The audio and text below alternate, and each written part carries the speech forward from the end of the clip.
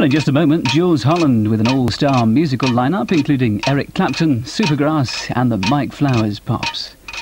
Before that, in these final seconds of 1995, just time for me, Matthew Jackson, on behalf of the team here at BBC Two, to wish you a very happy new year.